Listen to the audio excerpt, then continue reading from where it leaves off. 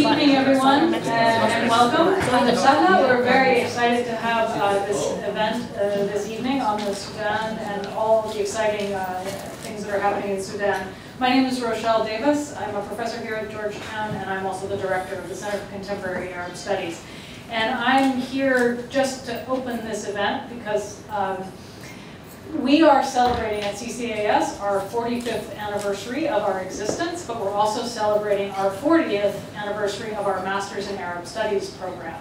And so one of the things that we've been doing this year is highlighting when we bring back one of our, our Master in Arab Studies alumni to speak. And so uh, Dr. Khalid Medani is one of our alums from what year? I didn't even look. Oh, uh, oh maybe I, you don't want to say. 1994.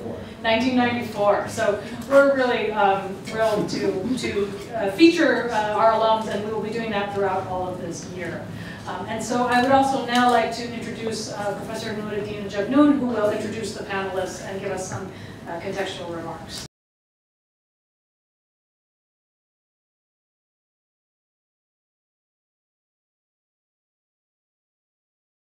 Thank you, Professor Davis, for your kind, kind introduction. Um, my name is Noureddine Jebnoun. Good evening, everyone, uh, and welcome to our panel uh, on Sudan's popular intifada and the prospects for democracy from revolution to resolution.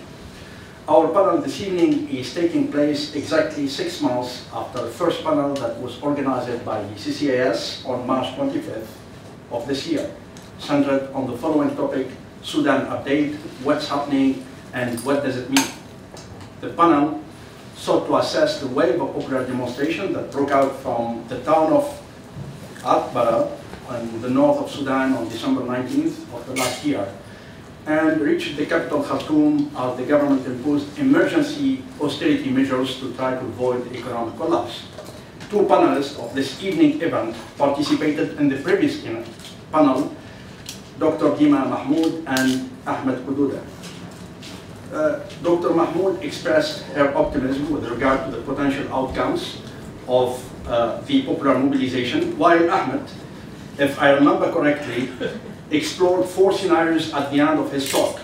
A civil war, the slow and drowning collapse a la Venezuela, radicalism, and the last and most plausible scenario, according to Ahmed, is a problematic and unsafe exit for President Omar al-Bashir.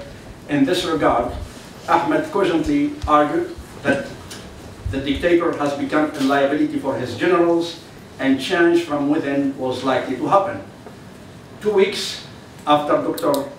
Mahmoud and Ahmed gave us their assessment on the potential trajectories uh, that the popular demonstrations might take in Sudan, El-Bashir was ousted by Vice President, his Vice President and Defense Minister, Lieutenant General Ahmed Awad ibn Auf on April 11th.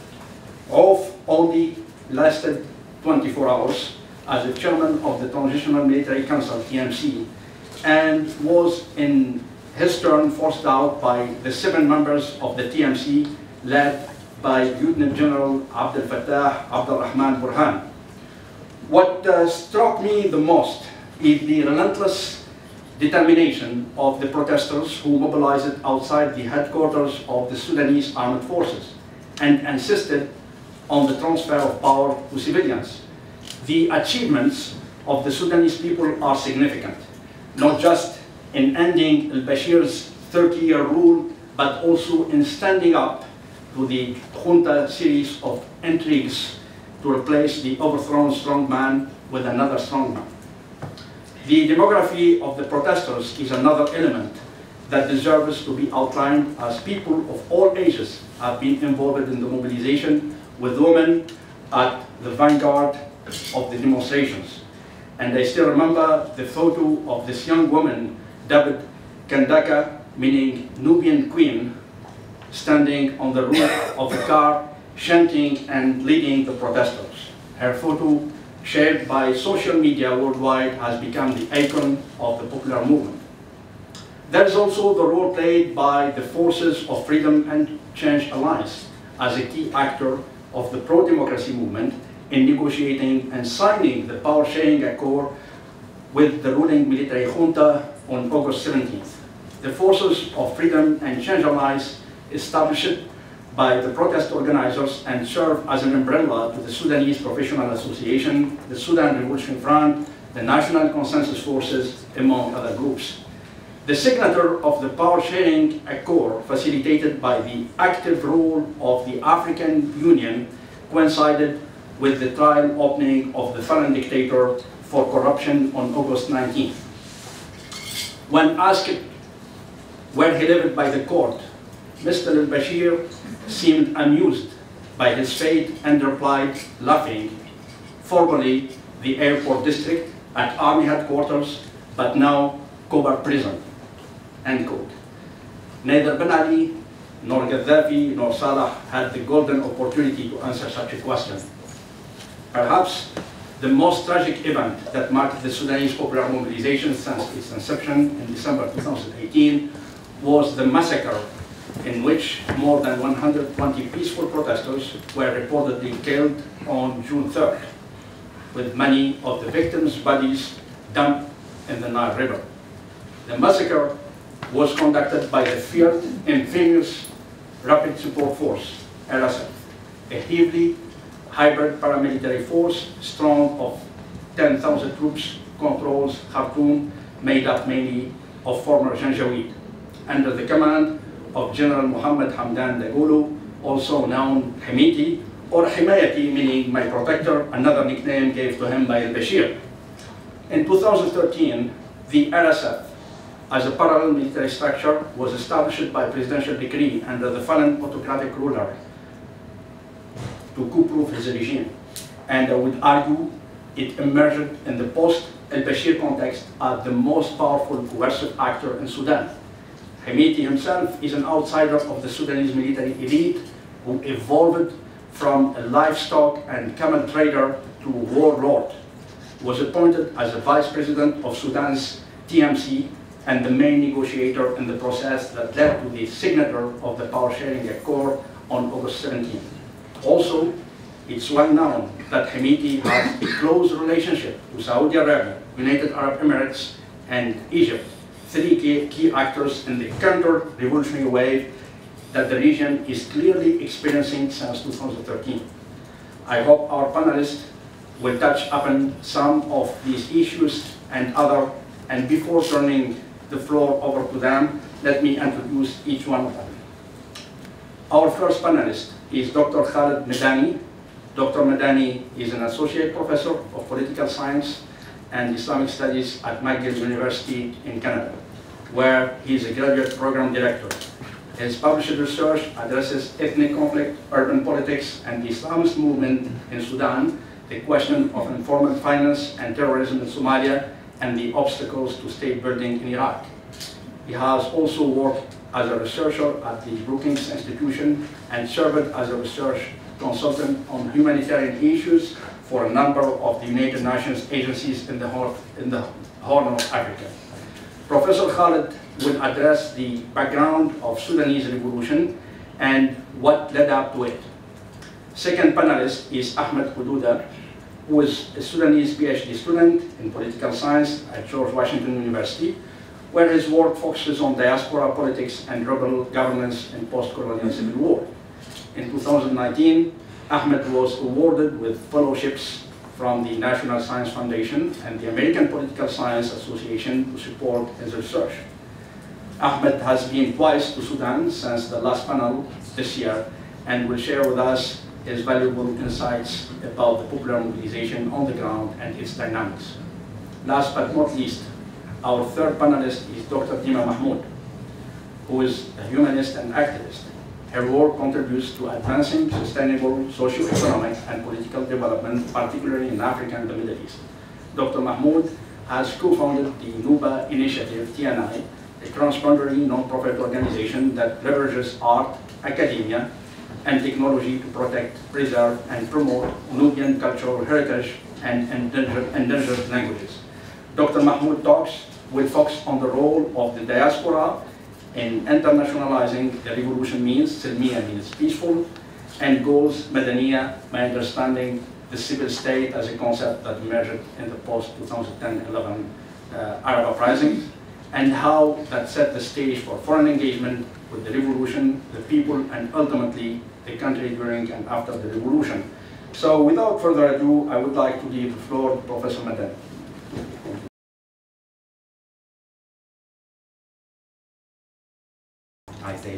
The regional also interest of the African Union is different from the Arab League, which is extremely important.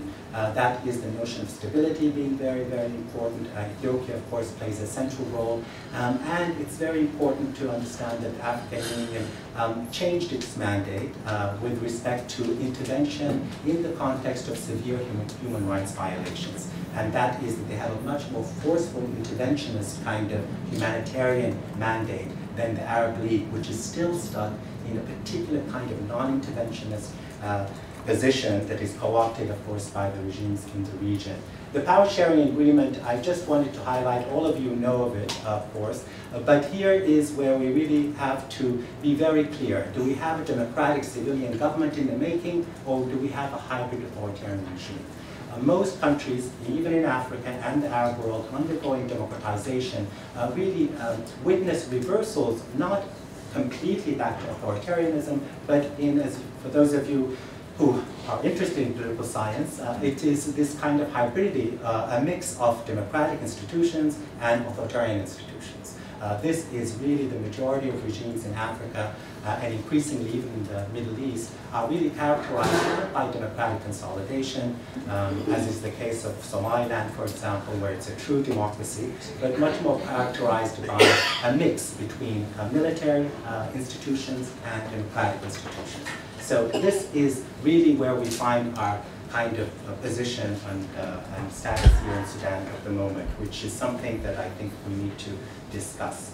Um, there are uh, two things I want to emphasize, I'm not going to go too long, that stand in the way of democratization and consolidation in Sudan. One of them is the history of a deep state, al-Dawla al-Amiqa, which is very, very important. And one is this uh, factors associated with why uh, uh, regimes in the Arab world in particular persist in their authoritarian characteristics. Uh, and of course, there's the issue of the future of Islamism. I'm leaving this really as a kind of point of, for discussion.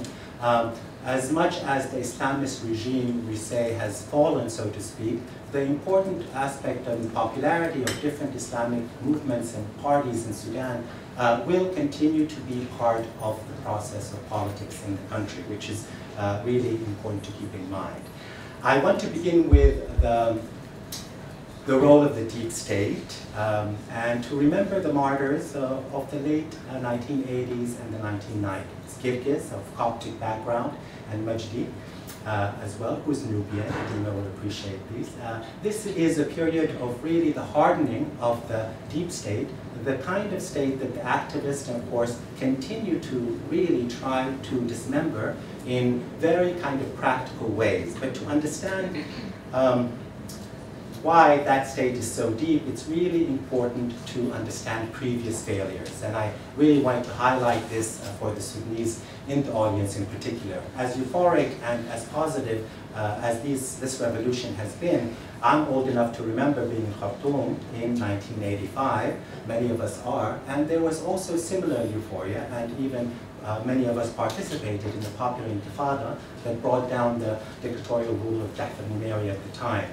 The transitional period was very problematic for a variety of reasons. One of them was this kind of the really careful manufacturing and manipulation of the electoral institutions. Essentially, the laws were established by the military. The electoral college gave a particular kind of uh, quota to urban voters, uh, and many of them, of course, the majority were uh, members of the National Islamic Front at the time. And uh, very importantly, and this is very important looking forward, there was no real time uh, for real autonomous political party formation, and that is something very, very important. It is the reason, of course, why you have the opposition insisting on a three-year interim period. Of course, initially it was four and five. All of these things are very important to watch. That is understanding from the past mistakes of democratization in Sudan, which is very different from Egypt and elsewhere. That is, we have to learn from the protests that that occurred in Sudan beginning in 2011. But even more importantly, I would argue we have to learn from the failure of democracy in Sudan, not only in 1985, but of course the historic democratic um, October Revolution of 1964, which is very important.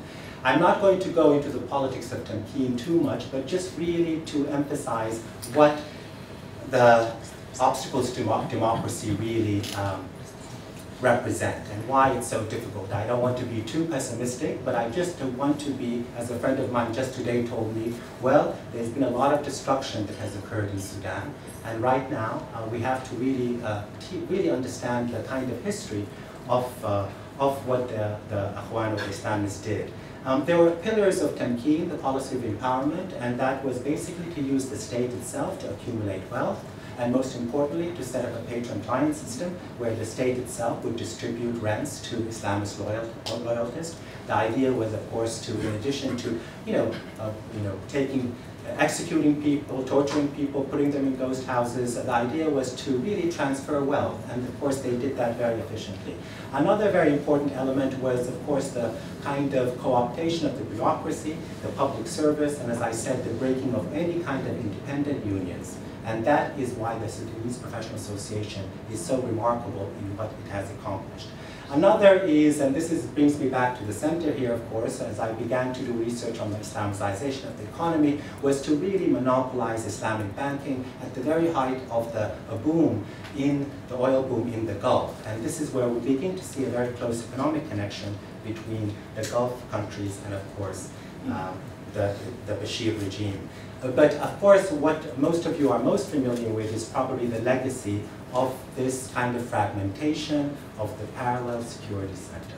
The unbelievable um, creation of a host of different uh, security services outside of the state, paramilitaries, in order to forestall what we have seen in December and uh, and throughout the past six months. And that is to make sure to really uh, crush any kind of opposition uh, from the Popular Defense Forces to the National uh, International Security Services, the Janjaweed, of course, the precursor to the RSF, and of course the shadow brigades and private militias. Some Sudanese would argue, uh, we, have, we don't know for sure, that they may be uh, upwards of 18 or 20 private militias. These continue to be armed. They are linked to particular individuals from the former regime. Uh, we can actually tell you some of the names. Uh, that is really important. That legacy of the coercive apparatus that is not beholden to the state uh, is something, and of course not beholden to the Sudan, Armed Forces, continues to really mark the legacy of the Bashir regime in Tamkeen. I want to quickly talk about how the young people were able to actually undermine this. Um, there are, I'm going to try to go a little bit faster. There are a number of uh, um, obstacles uh, in democratization in the Middle East. This is by way of comparison. We're often asked, how is Sudan similar to Tunisia? How is it dissimilar from Egypt? All of these kind of things. Uh, and believe it or not, as I said, by the time we were working on understanding the protest of 2012 and 13 and 14, and on in Sudan, um, the majority of those writing about Arab politics thought Sudan would not actually enjoy the kind of revolution that Tunisia uh, enjoyed, or it would fall the way of Egypt. Uh, and the reason for that had to do with this very dominant conceptual understanding of why authoritarian regimes persist in the Middle East. And that is that their societies are divided, that uh, the political parties and the opposition are very, very weak and often co-opted uh, by the state. That absolutely has been the case in Sudan. Uh, as many of you know, many of the political parties worked in tandem with the Bashir regime. Uh, the rentierism, that is the oil wealth, uh, not only oil, but other forms of rentier exports can actually uh, really separate and give financial power to the state in ways that can feed into the coercive apparatus. Um, there is, of course, the really important ingredient of international support. To what extent is France supporting Tunisia, supporting Algeria, Egypt, and the United States, and of course, uh, Sudan and its support from uh, outside powers. Um, another element is, uh, this is uh, very, very important, is this notion of upgrading authoritarianism that is in the context of protest. Let's say in Egypt, you'll see this theater of having elections, right? Sisi will have elections, so-called. You know, the military council, when they took over power, initially said, you know, we're going to revoke the agreement, but we'll have elections in like the or was it two months, uh, uh, that notion of liberalizing uh, the political system in order to quiet any kind of protest becomes very, very important. Uh, but as I had written before, and what I want to emphasize is really all of these are important, but really it is the power of the coercive and security apparatus that for me is the most important lesson of the Sudanese revolution and why the young people of Sudan did such a remarkable job and why in many ways Sudan is absolutely exceptional. Of course, I would say the same thing uh, about other countries, depending on the audience, but I think there was. um, I think that, um, first of all, the fiscal crisis of the state uh, uh, is really crucial in terms of the unraveling of uh, authoritarianism in Sudan. It's a very straightforward story, but I also think it's important to, uh, uh, as I said at the beginning, to give credit credit to, to the youth, and I'm going to do that in a second, but it's also very important to understand that there are other contexts, there are other um, you know, necessary but not sufficient conditions. And in the case of Sudan, of course, it was really um, our neighbor and former uh, brothers and sisters in South Sudan. It really is in 2011 where you see the kind of the unraveling of authoritarianism in Sudan. And that loss of one-third of territory, 80% of the oil, it's very, very important. 60% of the oil revenue was going directly into the security apparatus uh, of the Bashir regime. Uh, in addition to that, what is not often talked about is how Khartoum has changed itself demographically. No longer is it dominated by a Riverian Arab elite or Arabized elite. Khartoum really is an amalgamation of people from all over the country, whereas before you'd have the center of a particular kind of elite, and then you'd have people from other regions. The, the city itself demographically, and that played a very, very important role in the organization that we saw. So really to the backstory of the uprisings then become the erosion of the kind of networks that Bashir utilized in his regime uh, in the oil era that becomes very, very important. Um, and the loss even of the northern constituency. Okay, so remember Atbara is in the north. Uh, this is actually the hometown, home region of many of the most important loyalists to the Bashir regime, but it's in Atbara that you have the protest. For those of us from Sudan, that was remarkable. Of course, the protest began elsewhere also, to be fair. But Al is very important because it was the heartland and constituency of many of the key figures of the Bashir regimes, which is very important. The issue of warfare versus welfare, as many of you know, of course, as I just said, maybe 5% goes into education and health in terms of the national budget, and the rest, of course, goes into military. This is something very, very important because throughout the protest in Sudan, it was very clear every time the Bashir regime said, and Ali Mantaha would say, well, you rely on your relatives abroad too much, um, and you're living beyond your means. Uh, the response of activists was immediately, well, you're putting uh, 70% of our money into the military, okay? So the notion of corruption was not only a small thing. And also, of course, the kind of, the loss of the support at that time of Arab uh, assistance uh, in the context of, uh, of Sudan, spe specifically the rivalry between Qatar and that uh, the, the, success of 2008, I think, uh, as I said, was learning from the previous intifadas, but also I want to give credit to all of the iterated protests that youth really participated in. In 2012, partly as a result of the Arab uprisings in the region, 2013, 16, 17, uh, where so many people lost their lives. Um, and uh, very much uh, here, by 2012, we were writing about how women were taking the lead in the protests in in Sudan. We're often asked why women play such a central role in Sudanese activism, and I'll leave that to uh, the other speakers to speak about. Um, very quickly, I don't want to drag on too long, uh, that we return to the thesis of weak civil society. Um, that is uh, one of the reasons that uh, authors and scholars of the Arab world look at when they try to explain why democracy uh, does not usually occur in the context of Arab, Arab countries. And here I think it's very important to look at the variety of different um, organizations in Sudan. Sudan has always had strong civil society organizations. In addition to the SPA, the Sudanese associations and trade unions, the youth movements that played a very important role in conceptualizing the very idea of nonviolence. I spoke to one of the founders of Girifna, who said to me just recently that they looked very closely at the text of Martin Luther King Jr. and others who practice non nonviolence, which is really important. And the important kind of Nida Sudan that really becomes a very important coalition. And this is where I defend older Sudanese as well as the young. And that is to give credit also to the political parties in Sudan that over the years have worked very hard to try to represent an autonomous opposition. And they remain very, very crucial uh, because, as you know, youth activism is not yet an organizational, institutional phase. It is still the political parties of Sudan that really are going to determine whether uh, democracy is consolidated. And of course, Nidan Sudan brought all those together. More, um, I think, uh, controversially, is the remnants of the Islamist movement itself. Uh, and, uh, and of course, you have the reformist movement, the splintering of Islamist movement, um, there's the Umma Party, of course, the branch of the Umma Party led by Mubarak al-Fadil.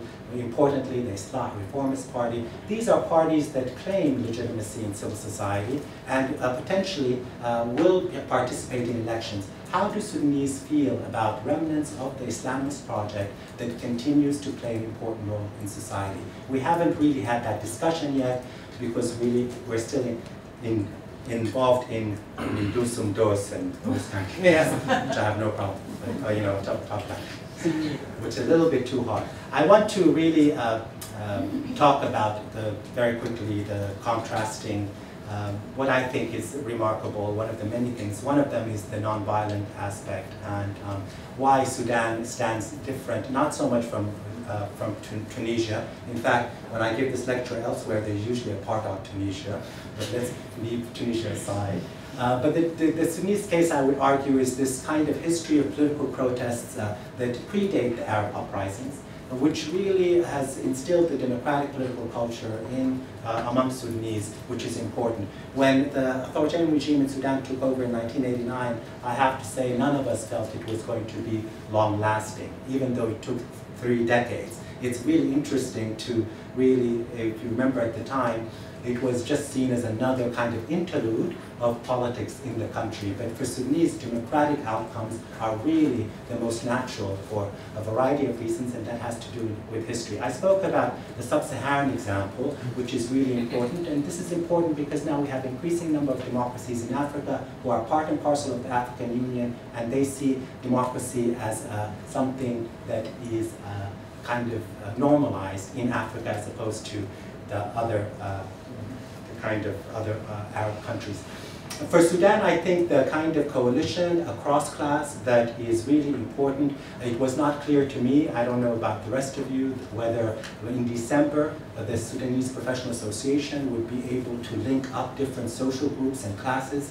Uh, the activists really did that effectively, and they did it in a particular kind of concerted effort, which is really important. And they were able to, from my perspective and many others, to intervene and correct uh, one of the most divisive elements in Sudanese contemporary politics, and that is the racist discourse that Omar Bashir's regime injected in the race war in Darfur, killing 200,000 people, and of course in the Nuba Mountains, uh, without which uh, there can be no, not only peace, but no uh, democratic consolidation a youth activist over time. This begins at least, and you can correct me, in 2012 when Darfurian students were killed in, uh, in the University of Jazeera and thrown in the kind of gutter, so to speak, that uh, the youth activists in particular uh, would tell me, we had these focus groups, and they would say, Professor, we take racism seriously. Al-Suria in Sudan is not a concept that we used to, in my generation, talk about.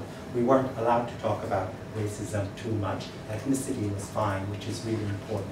How did they do it? This kind of notion of silmiya, silmiya. Uh, many of you Sunnis know of this, but it is just really remarkable the kind of strategies that were employed by young activists to emphasize peaceful protests. That is very, very important. Number one, these pamphlets instructed and enjoined activists uh, across the board to maintain a peaceful, non-violent, uh, um, protest, which is very important. Um, you know, they may use loud voices and slogans expressing the goal of the regime. That was really important to really, uh, really emphasize. But I like to emphasize this kind of insistence on uh, telling and informing activists that they must include women, men, youth, sheikhs, a whole host of people in social uh, in society, which is really important.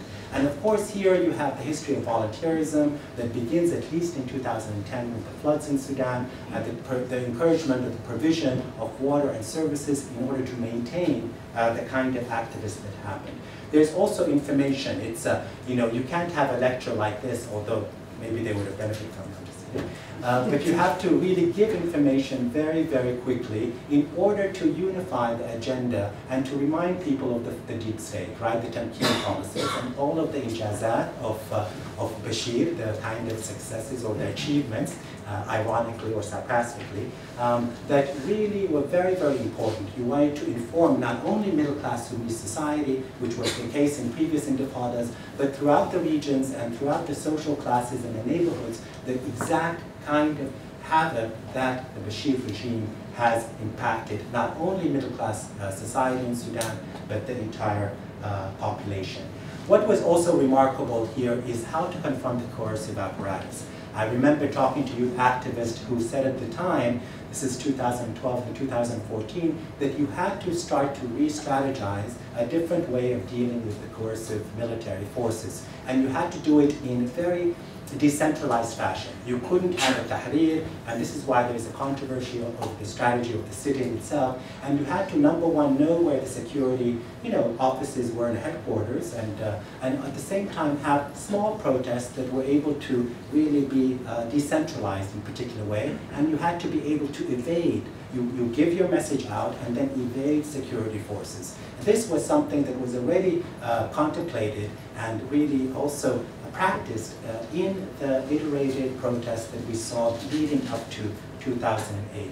Uh, what I also really appreciate, because of having traveled to Darfur and, and uh, southern Kordofan and South Sudan and these, Sudan, we still call it Sudan, is, uh, you know, we all have our own interesting kind of uh, uh, legacy of the protest. But for me, this kind of cross-regional expansion um, is really remarkable um, Kullin Balad for all of these kind of real important aspect of dealing not only with uniting social groups in the formal sector, and informal sector, but also insisting that this was a regional kind of, uh, you know, uh, cross-regional protest, a real truly national protest.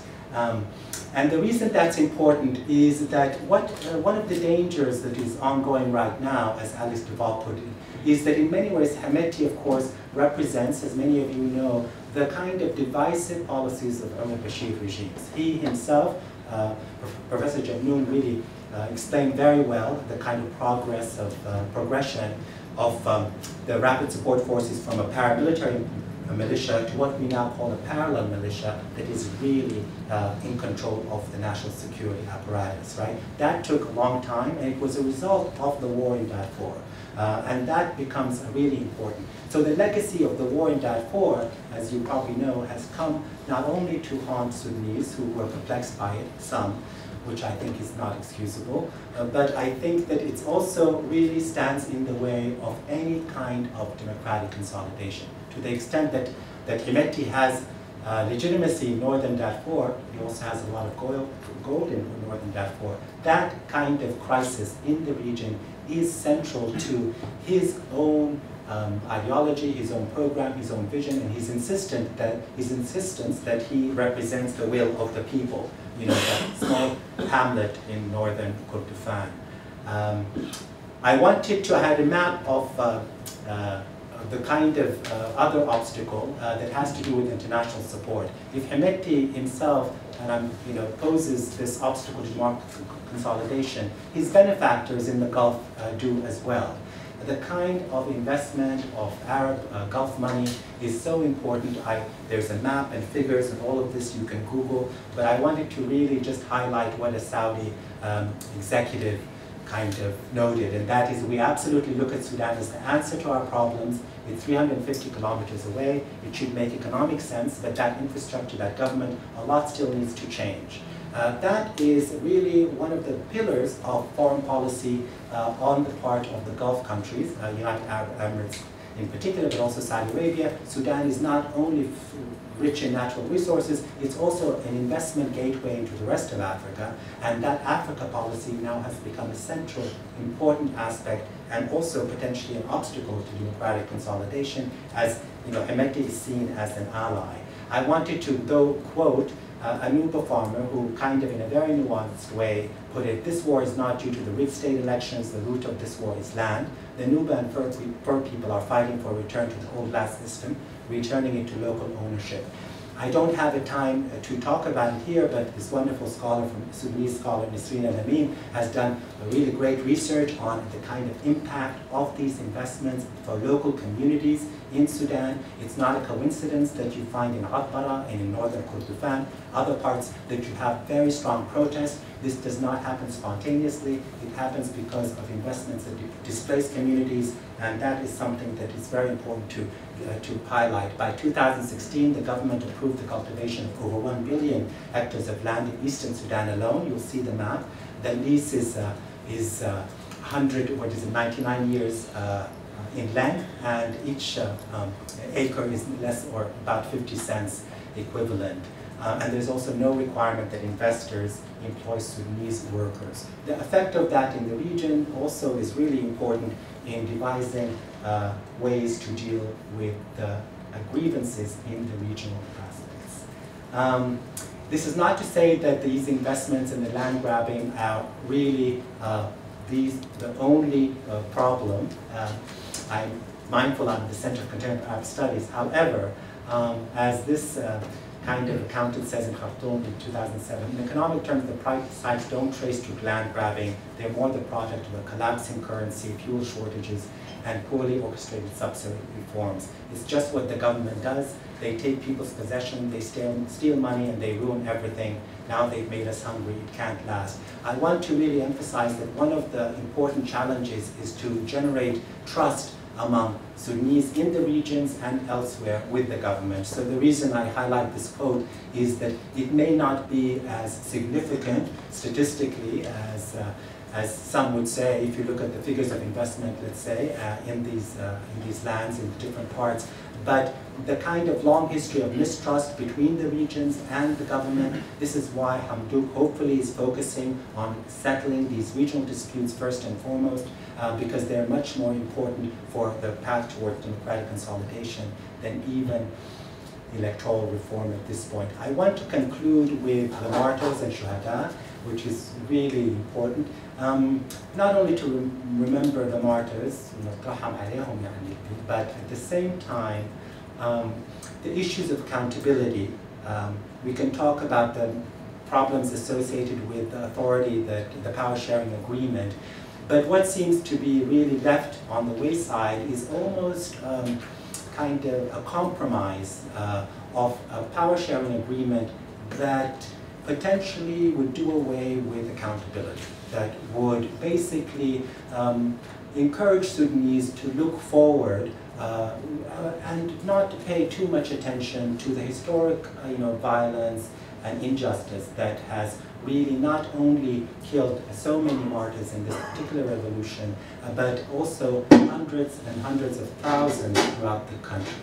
This notion of accountability, justice, is something that, uh, for me, right now, uh, seems to be problematic because it's being uh, sidelined uh, with this kind of uh, not only the power sharing agreement, but the insistence on regional actors that this should stick. so hopefully we'll have individuals that will take it seriously uh, and understand that without accountability, uh, you can't really have democratic consolidation. So that's another obstacle. I'm going to shut it here.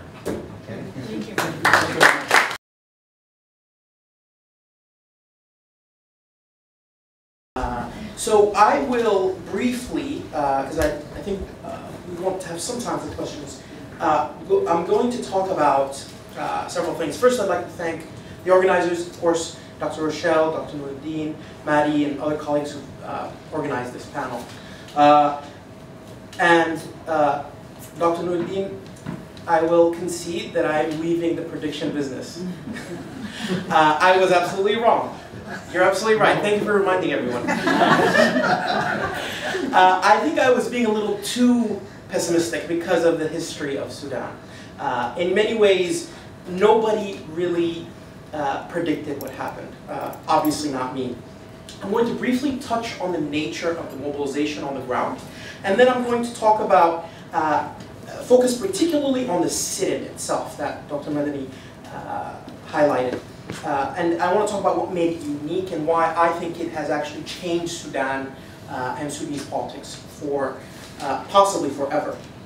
So of course, as Dr. Medani said, the mobilization was completely different because it started from the periphery and went to the center. Khartoum no longer represented the heart of what changed politics in Sudan. Uh, the 19th of December torching of the uh, NCP headquarters marked a real catalyst for change in Sudan. Of course, five days after that, on the 25th of December, protests finally entered Khartoum.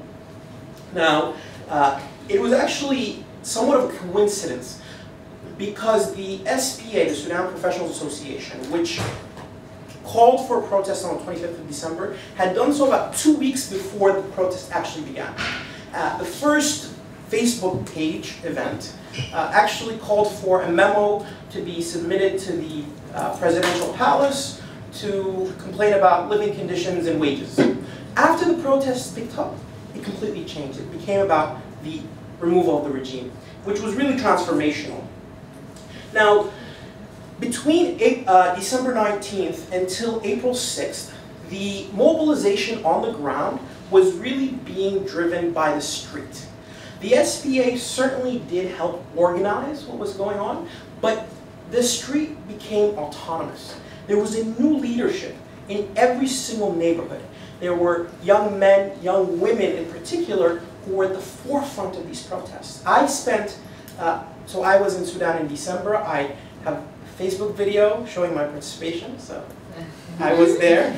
Uh, but I also actually, uh, on April 11th, when the coup happened, um, I notified my professors who were very generous, and I told them I have to go.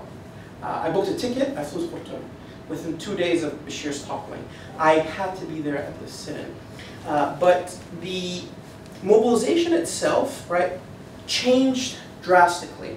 The SPA would send out these maps that uh, Dr. Medani showed, and people would follow the maps to the T, right? But it was only because the street actually pushed back. There would be negotiations with the SPA, which was a faceless, largely faceless Facebook group for a while, and the street. People would go back and say, actually, we don't think the street is the right one to go on. We want you to put the next week uh, protest on this street. And there was this dialogue between this leadership and people on the ground.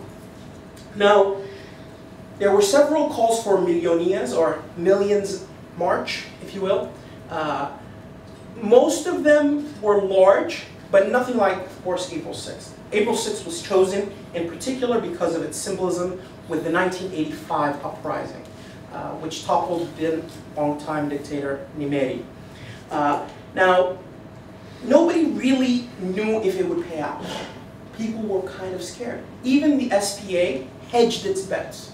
They were hyping April 6th, but there were always a little, was always a little asterisk about, you know, if it doesn't work out, we're still going to keep going. So they didn't know. Nobody did.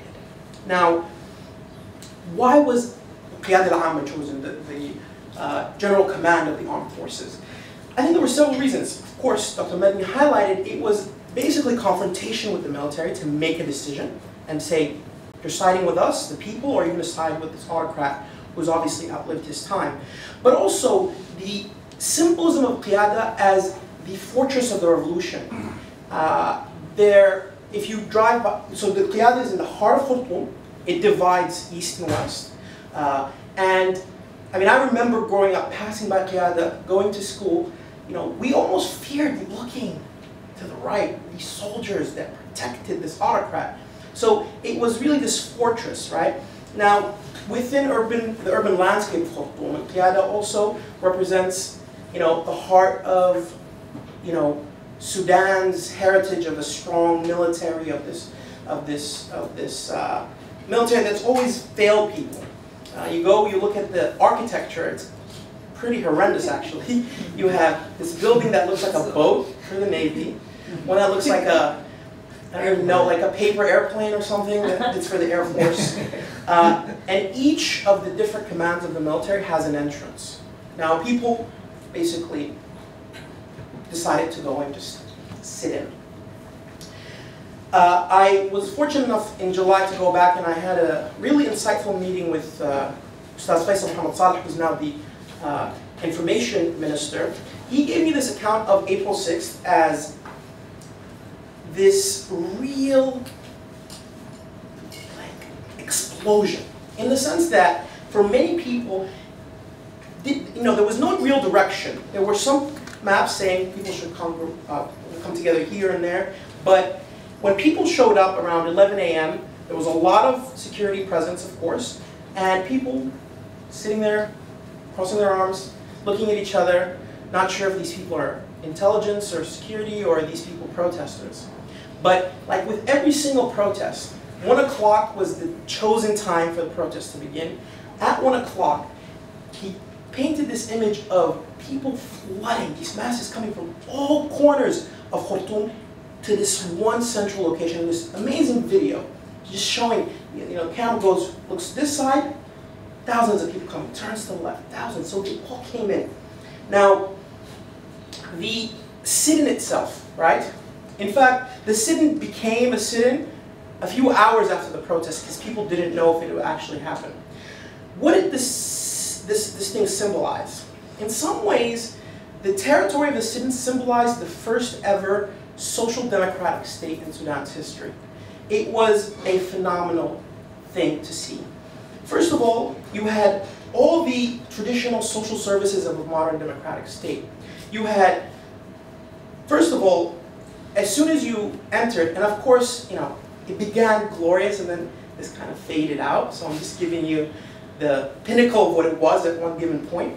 There was this slogan of ما عندك شيل لو عندك خد. If you don't have, take from this box of cash. If you have, put something in. So there was cash transfer programs, right? There was free healthcare. Clinics were set up by doctors, by pharmacists, to tell people, if you're sick, come see a doctor for free, and we'll give you the prescription. You can fill it in for free right here. Uh, there were free public libraries. Street kids were given classes. Uh, free food was given out. Um, for the first six days, vendors weren't allowed in because everything, food was provided by everyone. Free calling. A guy came up to me, he's like, hey, do you want to call your family? Here's a phone. There's free Wi-Fi. It, is, it was glorious, right? They even set up a lost and found. Now, entering the sit-in, um, a friend of mine who, uh, uh, with whom I went to Sudan recently, Dr. May Hassan uh, of the University of Michigan, described the sit-in as a living, breathing organism. In that sense that it had territories, it had, it had boundaries. These boundaries were all uh, basically protected by men and women. They were the guardians of the revolution. These people would ask you to put your hands up and you'll be politely searched. Now, the first few days, that was necessary to prevent security from entering. But after Bashir was toppled, that thing continued. And what it symbolized is that this is almost a protection of the revolution. We're frisking you. I mean, I got patted down. I could have hidden an RPG in my pocket and they wouldn't have found it. Because it's just, it's like, come on in, come on in. But it symbolized this space is safe. If you're here, you're under the authority of the revolutionaries. The streets of Khartoum, if you've been, are basically mounds of dust from the Sahara. But what you found is people every night, men and women, would wash the streets. They were cleansing it of its dirt, but also cleansing it as a, as a new state. Um, then there was this cleansing of the oppression of the people, in the sense that there were museums set up. For example, there was the um, 28th of Ramadan Martyrs Museum, where you had pictures of each of the military officers that were uh, killed by the regime, and a family member sitting in front of the picture, sitting, talking about their loved ones. They were talking, a mother of a, of a person killed would tell the story of her child. And basically, this space was representing a catharsis, a national catharsis of just, wow, what is going on? We need to reassess these past 30 years. Now, there was also another phenomenon of people coming in and pledging their allegiance to the revolution, right? You had delegations from different segments of the society.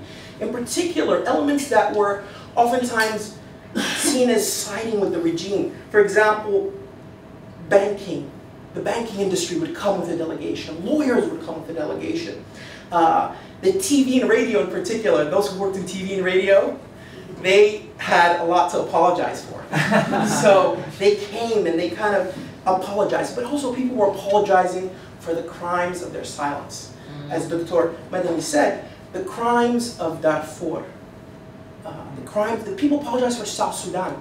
For the first time, people said, we are sorry. Uh, and it literally was written, like you saw banners, people apologizing. And then the women. I mean, it, and I, this is really one of the most profound things of the revolution. You know, women stood at every podium talking from the morning until the end, not letting anyone silence them, and I'll leave Dimah to talk more about it. um, quickly, I want to talk about the mobilization and how it transformed. Before the sit-in, the street, as I said, was autonomous, and it was these isolated networks or nodes that weren't talking to each other. They were all communicating through the SPA, and talking to the SPA, and SPA would talk back. But the sit-in allowed all these different people to come and see each other. Oh, you're, you guys are from this neighborhood, I'm from this neighborhood, what did you do? People were talking about the heroics of the revolution, and they built trust, and they created linkages that then helped them after the June 3rd massacre. Of course, June 3rd, very brutal. It was almost turning the lights off for this, this moment of catharsis. People were in shock. It was unbelievable. I had left Sudan by that point, about a week after before. And I mean, for me, it was very tough, but I couldn't imagine what people there felt like. 120 people killed, bodies, as Altamedi said, thrown on the river. Many more are still missing. The internet was shut off. So this was a real test for three weeks. This framework that people had used to make the revolution succeed no longer existed. What were people going to do? They used the networks that they created at the sit to actually say, look, we know each other now, let's pick up the phone. People started picking up the phone and talking and coordinating. They started printing flyers. It was old school activism. It was amazing. They called for Millonia on June 30th. And June 30th was the biggest shock to the junta, to their Gulf backers, to the international community, and it was much larger than April 6th. It was this moment where people said, we're not going to be silenced, no matter how many of us you kill. Now, I want to just close very quickly. Um, this new leadership in the street actually, in many ways, is now a real force to be reckoned with. I think that, uh, for example, they really kept the Forces for Freedom and Change honest. During the negotiations with the TMC before June 30th, June 3rd, and after the negotiations that started, uh, they kept on making sure that there was transparency, they were pushing for it, they weren't letting these politicians steal the revolution or talk on their behalf.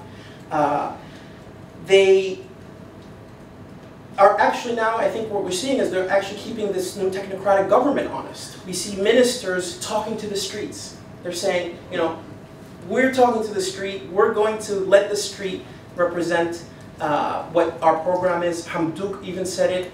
His national government's program is Hurriya, Salam, Adala, freedom, peace, and justice. Uh, and I think anyone who rules Sudan moving forward uh, will have to deal with a new level of awareness that has really never been seen before, uh, certainly in Sudan's history, but possibly in the history of, of the region, uh, both sub-Saharan Africa and the Middle East. Thank you very much. Thank you very much.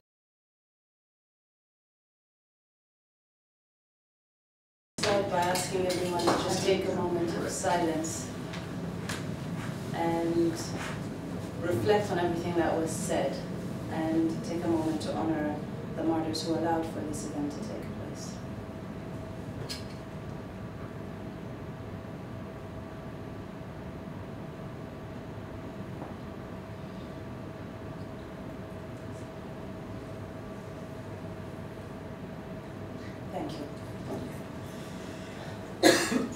the ask for this is the core of my topic, is how the people of Sudan leveraged the main pillar of this revolution, Silmiya, and turned it into a foreign policy. Can a revolution have a foreign policy? Can a movement have a foreign policy? Can you engage with the outside world if you're not an official government, if you're not a state? Yet another angle of the exceptionalism of Sudan, and yes, I'm biased, and yes, we're exceptional. What is foreign policy? How does a state create a foreign policy? There's a regime, they have objectives. It's influenced by the internal environment. Then you have some external influences. Then, of course, there's the political process itself. Thankfully, I was preceded by extremely knowledgeable and an oasis of um, wisdom when it comes to political science, international relations, and information from the ground. So I won't need to get into that so much. But what I'd like to do is contextualize all of this within the framework of the Sudan Revolution. How did this revolution engage with the international community? And I'm in the habit of now correcting myself every time I say international community because there is no community within this international system. But how do we engage with this system to acknowledge, to realize that there are lives on the line here. There are people who are literally going out to the streets, facing bullets, facing live ammunition, to demand freedom, peace, and justice. And how do you change that into a policy? How do you then activate the human agents to go out and say, no, no, it's not okay what's happening in Sudan, even if you're all the way here in Georgetown. So, from a regime's perspective, their objective was the consolidation of power. For the revolution, our objective was Madaniya, is Madaniya. Civilian rule. Not civilian-led, civilian rule. So, baby steps, we're taking them. The internal environment was very thoroughly discussed. The corruption, the political situation, lack of employment, the economic strife, uh, double standards of the international system, you name it. But the internal environment of the revolution was very different. Because yes, while the Arab Spring was happening in 2012, 2011, 2012, there was a whole different kind of revolution happening in Sudan, and it was a consciousness revolution.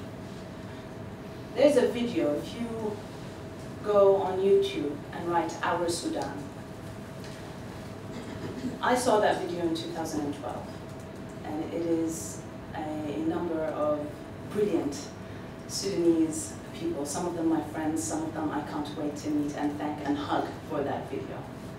Because it was a discussion of all the things we know are true about Sudan, all the things we know are lacking, but all the things we don't remind ourselves about. That we are connected, that we are realizing that racism is becoming too much of an issue, that we're no longer going to accept, that we're no longer going to be silenced, that women will no longer take a step back.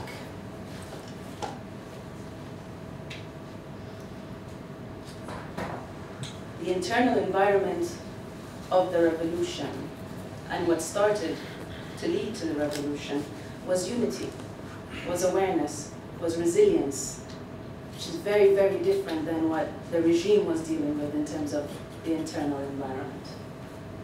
What were the external influences? For the regime, they used these external influences to consolidate their grip on power, the tyranny. They leveraged the double standards of the international, international system which I've spoken about in, in the previous panel, which I believe is now online somewhere. Um,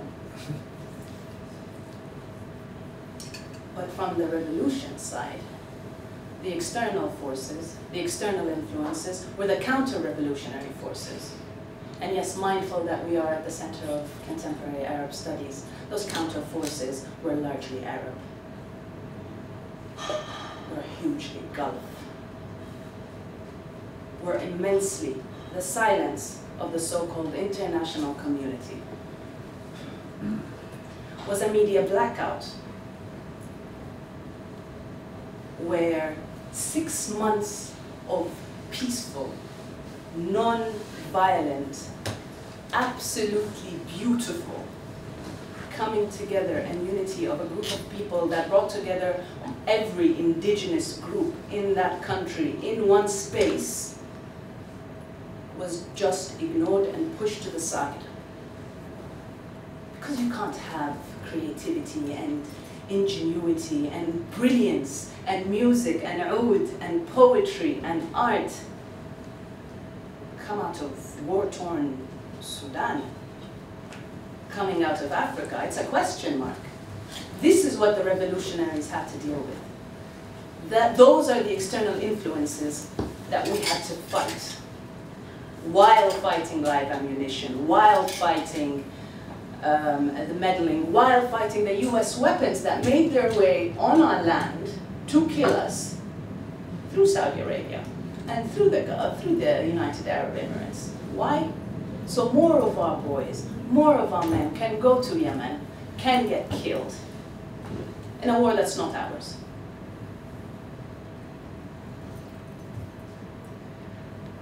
The political process to deal with these external influences, to deal with our internal environment, for the regime was divide and conquer. Just like they divided and conquered us as Sudanese, they divided and conquered the international system. Put China against the US, put Russia against China, brought the Gulf in when they needed it, turned to Malaysia and India when it was necessary. They went wherever they needed to go. Let go of the South, without any compromise. The revolution and the revolutionaries, political process was different. It was bottom up. It was coming together. It was grassroots. And this is one of the differences, one of the biggest differences you'll see if you study the Sudan revolution and juxtapose it against the Arab uprising. At any given point throughout what is called the Arab uprising, and I refuse to call it the Arab Spring because we are yet to see a flower, except Tunisia, and it's still budding, and we have our questions. Um, is that at some point in those uprisings, there came a split between the ground and the diaspora. And that split for Sudan, alhamdulillah, not yet here. You have questions, you have dialogues, you have the intra-Sudani contention about what's happening on the ground and who's right to speak and who knows and who doesn't. But ultimately, when that media blackout happened, the diaspora took it to the streets. We stormed everything. We stormed the streets, we stormed offices, we stormed social media. We turned it blue. Because it was bottom up because it was about connecting, because it was about coming together, because it wasn't about divide and conquer, because we understood what it meant that, yeah, it's been enough, done. So that formulated a foreign policy because all of a sudden you have this massacre and you have a blackout, but still people are paying attention, people are on the streets, and someone is telling you to turn blue for Sudan, or to keep eyes on Sudan, or why are you the Sudan revolution? Our foreign policy turned into coming together and recognizing fully that this is Africa rising. This isn't an Arab Spring. This isn't about Bashir. This isn't just about bread.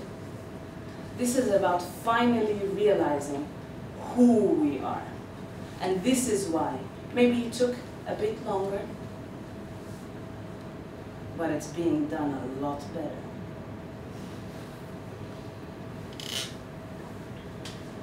juxtapose it against the foreign policy of the regime, which was isolationist.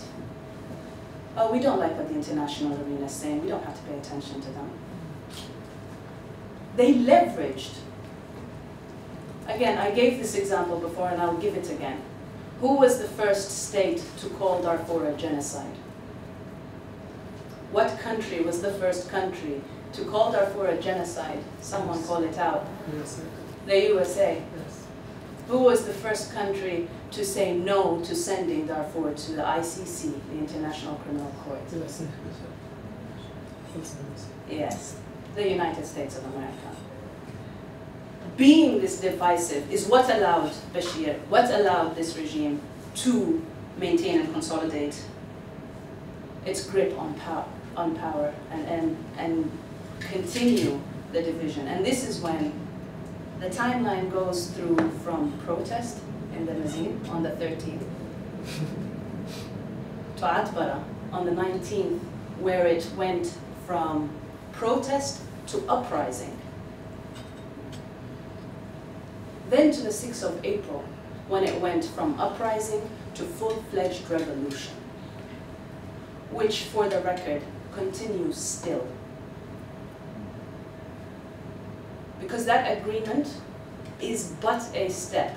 And that's why, looking forward, how do we continue with this silmiya, with this madaniya, with this coming together absolutely resolute that we are not going anywhere until we get what's ours, moving forward.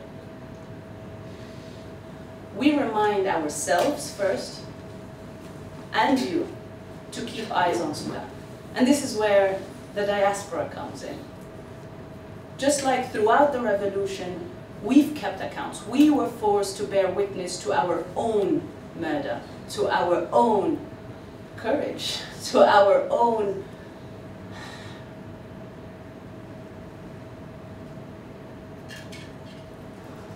exceptionalism. Thank you. um, while everyone else turned away. So now we won't allow that to happen again.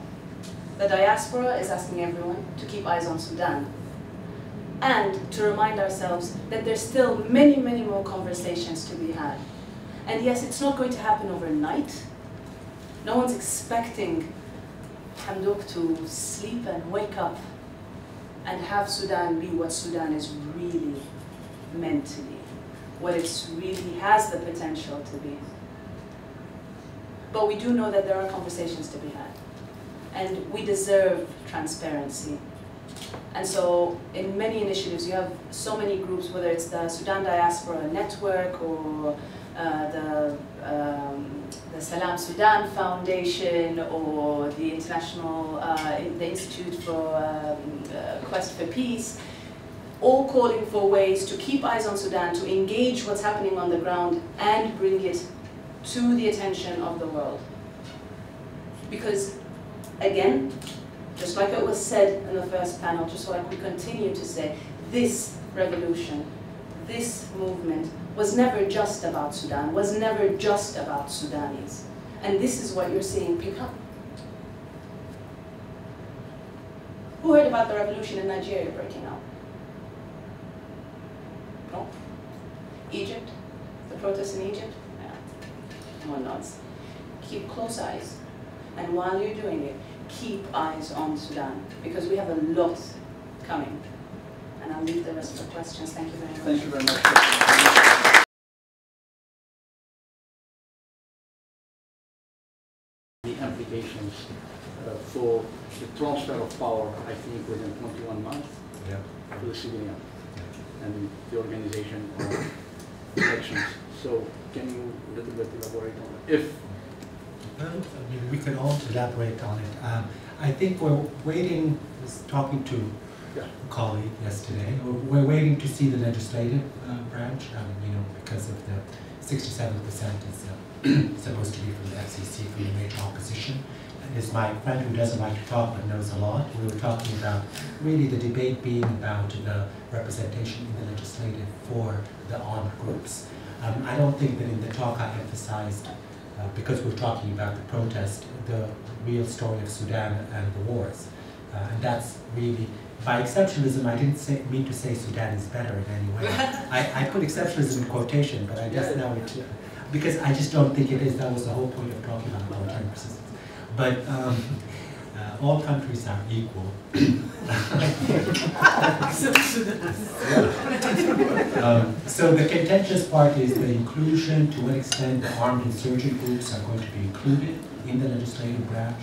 Um, another one is uh, salahiyat, and these people, to what extent is the military going to use their executive power uh, in this first initial period um, to undermine the civilian opposition and also to embolden their security forces and the military.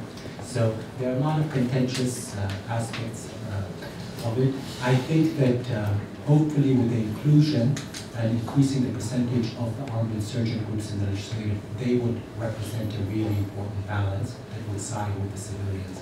Um, but following that, the interim period is very complicated. I mentioned the 1985 issue because from then on, then you have a period of only three years where the legislative has to essentially establish electoral laws, uh, districting, um, you know, uh, political party laws, all of the kind of things that in Egypt did not uh, obtain, even though the Egyptian opposition wanted them to. Remember, the Egyptian opposition wanted to expand the interim period, and that was to deal with issues of political party laws and legislation. So these are very technical aspects, and there are only three years to manage this. And this was the reason that the 1985 democracy failed.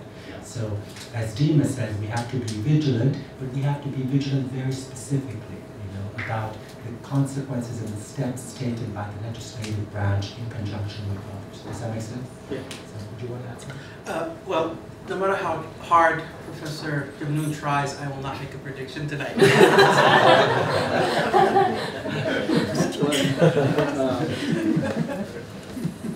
Any question from, yeah, so, and then we Yeah, go. first of all, thank you guys for a great panel today. Um, So I have a very simple question. Uh, What role do you see, you foresee the rest of the Arab world uh, playing in a post-revolutionary Sudan? Positive role, negative role, constructive, destructive?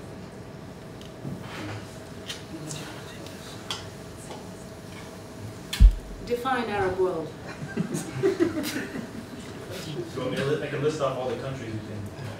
you might think of. Well, obviously you have the Arab countries that are in North Africa, and then you have the Arab countries that are in Asia, and then you have Egypt, which neither fits here nor there. I can say that because I grew up in Egypt, and I know Egyptians say, we're not Africans, we're Egyptian. We're not Arabs, we're Egyptian. We're very proud Exceptional. All right. Oh no. No. Let me tell you what's wrong. I think, personally.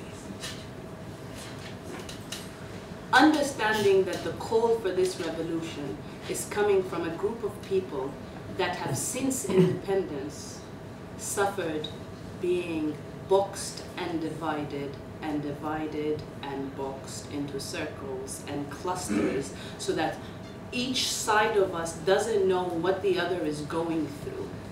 So that when something as horrific as what happens in Darfur happens, the rest of Sudan is so in shock or is so oblivious that we can't actually fathom that's what's happening in Darfur is actually happening, that some of us will go as far as deny it.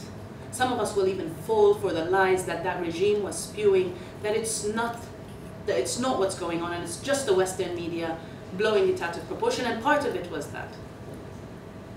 But when you have that kind of um, brutality come to the capital, and the rest of Sudan, which actually at that time was all of Sudan, because Khartoum was at that point decentralized. You had, a, you had the mosaic, you had the Sudanese mosaic in that khiyar. And so when that brutality comes, no one can deny it and no one can lie. So now you are dealing with a group of people that understand what it means to be divided and that understand the toll that that has taken on us and what that has to our potential. That is the only thing the Arab world needs to understand. That you are now dealing with a people that will not be painted with one large brush, be it Arab, be it Muslim, be it whatever it is. In doing that, offer whatever help you can or step aside. But I, I want to say also, because it's Center for Arab Studies, I'm going to become an Arab nationalist also. I have said, you know, it's all about Africa. No, I mean, there's a difference between Arab states and Arab uh, people. This is really, we have to understand, uh, the Tunisia was very, Azizi was very important. It represented the protest of the regions, the, the, the consequences of economic crisis. Uh, the Tahrir, the sitting in Sudan, was learned the lesson from Tahrir in Egypt. Right now, Egyptians, uh, if you speak to them, are going to to in a couple of weeks who invited me. To, you know, we're talking about uh, you know repertoires of contention and uh, people and young people in particular in civil society who are learning from each other. This has always been the case historically. I get emails from Syrian academics who want to learn more about Sudan. Um, this is just the reality of the Arab world. Okay, so um, I, you know, Africa represents something very specific institutionally, but in terms of civil society organizations, uh, the, the, proximity of these countries historically, linguistically, culturally is very, very important. And um, frankly, I have worked in Egypt with activists, youth activists. They don't really deny uh, the, their relationship to Sudan and vice versa. Your, your question should be reversed a little bit and say not what Arabs can do for Sudan, but now what Sudan can do for Arabs. And this is what Egyptians now are talking about. No, it's just a reality.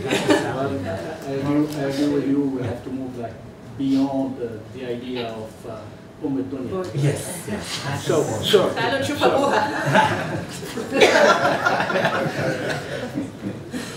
Thank you. Uh, thank you for a very excellent presentation. Uh, my name is Kaskanya Shafi. Uh, I am from Sudan. I'm activist and researcher. So um, I have two questions. One goes to Professor Mari. Thank you for a very good presentation. My question goes with what do you think, what are the active policies to deal with the real estate in Sudan? And as you explained it, it is, has an economic branch of it, thousands of companies, and you have different military forces, security forces, and it also in the body of the state public sector like the council. And uh, given the example of last two days where they spoiled all the food, the fuel in the River Nile, and now there is no fuel, and opening the dam of Roseires where many villages are flooded in. These are all intentional action to undermine the transitional government. Given that fact, what are the, action policies that this government currently could use prevent but also to deconstruct this system? The second goes to the migration to, to, to, to all of you, which is when the revolution started and people started chanting on the street, and before that, everyone was sharing his personal stories of why this government has to fall down. There was different discrepancies of this demand. People saying, I am in lining on the fuel for six hours, I don't find fuel to put in my car. Someone will share the destroy of his house and pictures of all his family that bumped in and killed. These are very different grievances, and it is very wide in when you see this. Uh, and when I'm seeing the post-revolution Sudan, and I'm seeing it in the picture, as person coming from the conflict zone and having a hostile state that use our identity as a selective criterion. So when people are killed in Nuba Mountain in early 90s, and people in Darfur in the end of 90s, the master of gas that is being used in Nuba village is made of Iraq. The air pilots that have been used to bomb when they start, when you put the radio FM, that bombed the village in Darfur, they were Syrians. And why this is happening? So for me, the state identity, when we go from here on, and many others, is a deep question of, is this a state that deserves for me to be part of it? The question of the existence of the state itself, it is very strong. And now you will see the alignment of this is very visibly seen in the way now looks after the revolution. You have the national consensus parties, you have this army opposition, uh, uh, and you have people asking for investigation and accountability on what was happening inside in the city, and, and you have people that are asking for justice and accountability for genocides that happened in those two areas. What do you think that the arrangement, the transitional arrangement that could better well answer these different demands and requirements for the future of the? Thank you. Just since we should try and move out of here at eight thirty, do you wanna take another question or two? Yeah. And then let the Yeah. panel Yeah. close, just, sorry. So, uh, if you have another question, that's one. Yeah, Joseph. Um, The, the Aren't you question. Kush Kush? What's your name? It's my- Kush Kush. I've been reading your stuff. It's Thank my- you. Um, the question of identity and, you know, whether we describe Sudan's revolution as Arab Spring or not, I mean, has been hinted in this discussion. And, and that also is the same, uh, in Algeria. I mean, you know, uh, when you ask Algerians, to describe the protest as a continuation of the Arab Spring? I think just because this is the Center of Arab Studies, um, the, um, how Arabness is understood in some countries may be very different, is different from how many have understood the Arab Spring. And I think that's very key to understand, whether Sudan, Algeria, or other countries. I think the very question of Arabness and how it manifests in um, different countries is, is different. Um, but I think the most important thing, I mean, I want to get into a discussion, are we Arab, African, are we both, are we, you know, and, and this is a discussion, in, again, in many countries. Uh, it may, might be a discussion in the uh, core axis, cultural axis of the Arab world, but it is in the peripheries. Uh, but I think the most important thing is to understand um, cultural and educational policies. When you have a multicultural state, whether it be Sudan, Algeria, when you have uh, a multilingual state, um, what policies um, create justice? What policies um, um, that uh, will be accepted by the, the general uh, populace?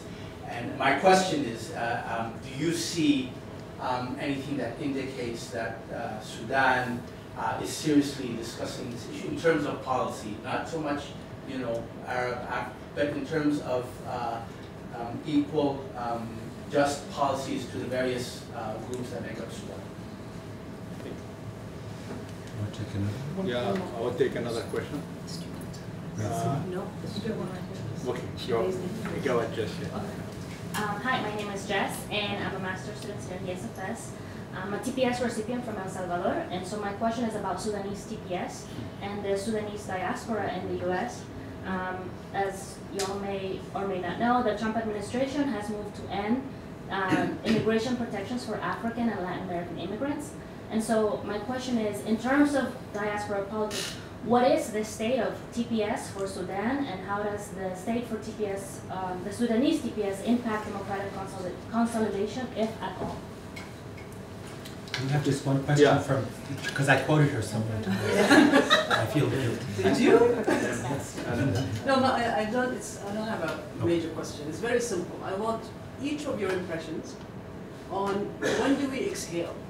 When do we say as Sudanese that we actually have crossed the line? We have met, we reached the finish line and now we're ready to cross into the next line. And, And- Pro- and Professor Khaldian. Yeah, I have a question, um, because, uh, because Sudan, I come from Mauritania, and Sudan, there are a lot of similarities Yes. with Sudan and Mauritania. And, uh, there was an uprising that started actually in Mauritania in two thousand eleven, when, but it died very quickly. And what, the- you know, the- what, you know, the reason that you, you know, mentioned led to the success of the revolution in Sudan, you know, there was an emphasis on Silmiya, same thing, civil disobedience.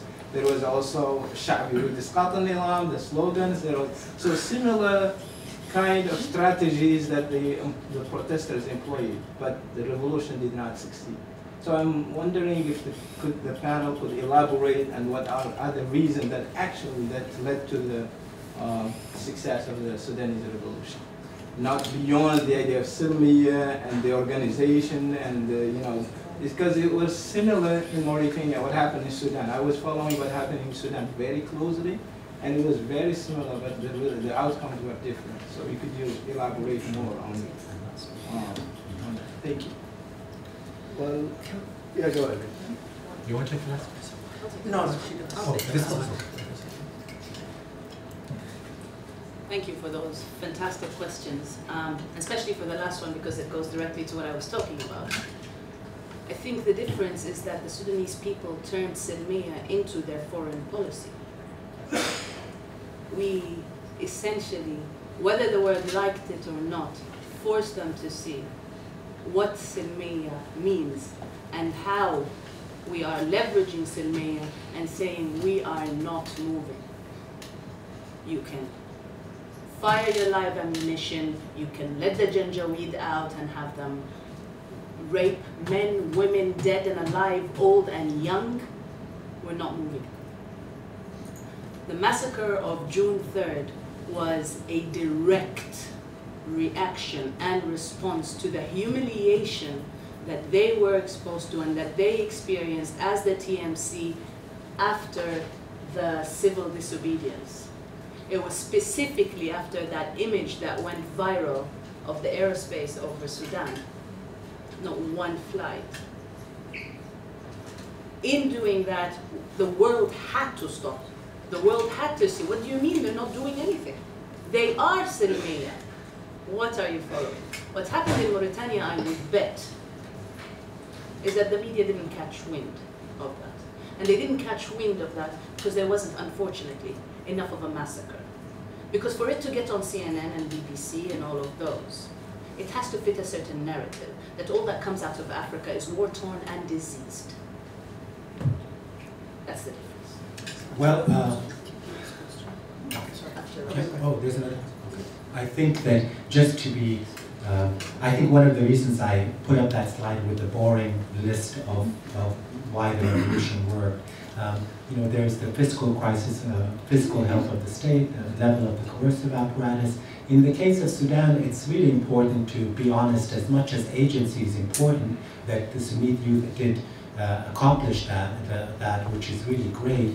You know, the truth is that, that by the end of uh, Bashir's regime, uh, he had lost his patrons. The Arab Gulf countries found him unreliable. He would go to Qatar and then Saudi Arabia, United Arab Emirates. The United States had already imposed sanctions on him.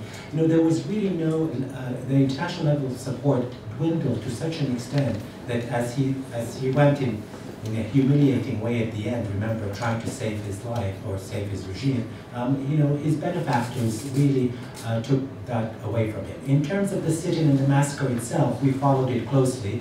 Um, you know, it, it, was too much. It was in Ramadan, it was very violent, the United Arab Emirates, the US and, Af and AU uh, played a different position this time. And so for Mauritania, unfortunately, part of the equation is the domestic activism, but for our countries, especially in Africa, um, you know, the international uh, linkage is so important, and so you have to really have some kind of alliance. And this is where communities outside, and Sudanese diaspora did.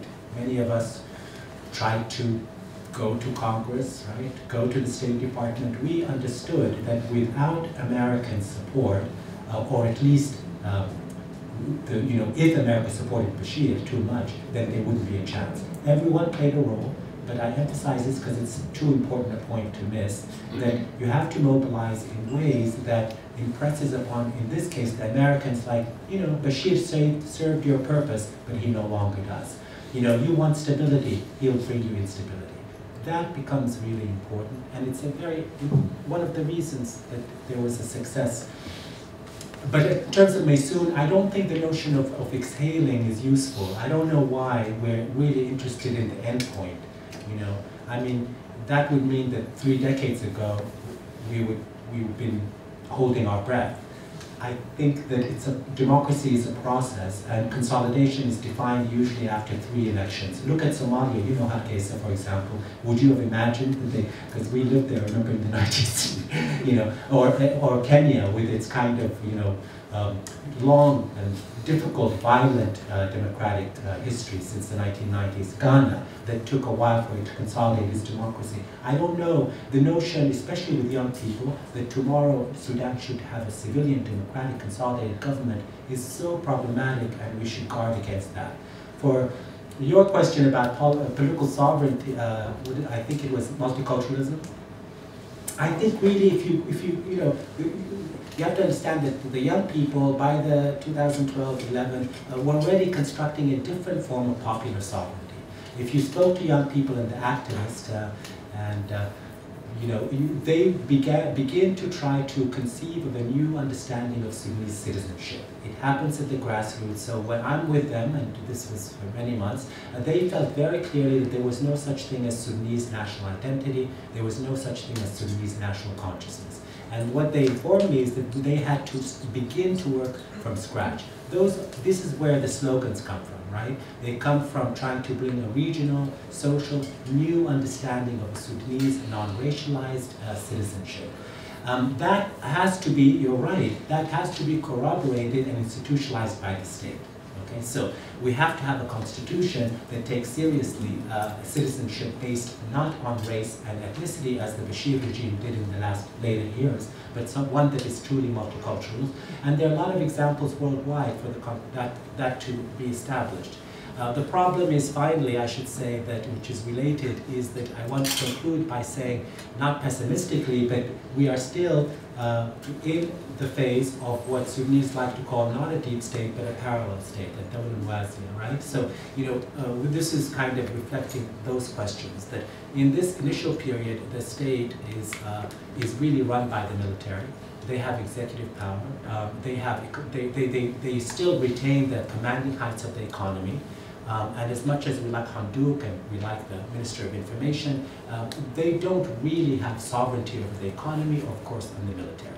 So, uh, you know, that's just the fact. So Sudanese, if you talk to them, who will tell you that it's still Dawla it's, there's, you know, we don't see a civilian Madaniya government. Uh, and so we have to not only be vigilant, but be very clear about that. And there has to be very, very clear, um, you know, policies now uh, with, uh, in conjunction with the international community for serious uh, security reform. You know, this is a very militarized country and a military that is um, really in command. And so I think that focusing on that is important. I think that settling the insurgent groups is a very, very good start? You know, peace agreements with the insurgent groups, uh, bringing them into the government, they will represent a very strong voice against the gradual kind of demilitarization of the state. That is put, bringing, taking the military back into the barracks. Yeah. Just very briefly, I know we've overstayed our welcome, Professor but I just want to say one thing about Skundi's second question, which I think is also related to Kushkush's uh, question. I think if Sudan does not address its identity crisis, I think we will be here again next year and the year after and for a long time. Thank you. and just like with um, as a nation. She's too uh, But uh, but for Mesur's question, just like you know, Khalid said, you know, democracy is really the journey. It's not the destination. We're not trying to excel. And Yusuf asked a very controversial question, which I will not answer right now. So uh, one, yeah, go ahead just yeah, to the diaspora question. Again, I, I, think it answers also a bit of uh, Koskondi's question. The diaspora is engaging Congress, not just on the front of um, the revolution and what's happening there and how to engage on the ground in Sudan, whether in terms of capacity building and so on, but also how to empower and um, engage the Sudanese here particularly within the TPS. I'm happy to discuss a bit further and even connect you with that group that's working on that uh, a bit later. And then building on that, Skondi, again, you have the diaspora organizing in clusters, going back with their capacity buildings, with their workshops, with their trainings, and a lot of them is to deal with who are we, what are we, what are we trying to do, how are we going to do it, and what does each one of us bring to the table? Again, emphasizing that all these differences that we have, whether in upbringing or where we are in the world or where we were forced to go in the world because of this um, demonic regime, um, are all elements of strength that we're bringing back to Sudan. Yeah.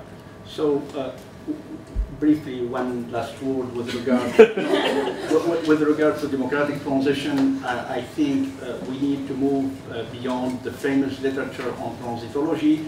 Uh, there is no such thing called uh, democratic uh, means transition and then democratic consolidation as a linear process means everything could happen during this process, happened in Tunisia, still like a country transitioning democratically.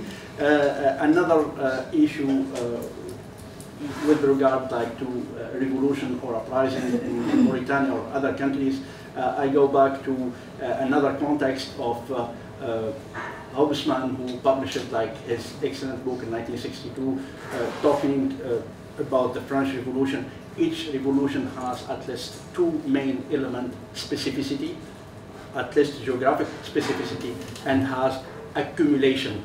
And this accumulation happened in Tunisia, happened in Algeria, happened in Sudan. So those are two elements that we have to take into consideration, and accumulation is a long, long process. Thank you very much, everyone, for coming. And uh, I would like to uh, thank our panelists for their really uh, insightful presentation. Thank you.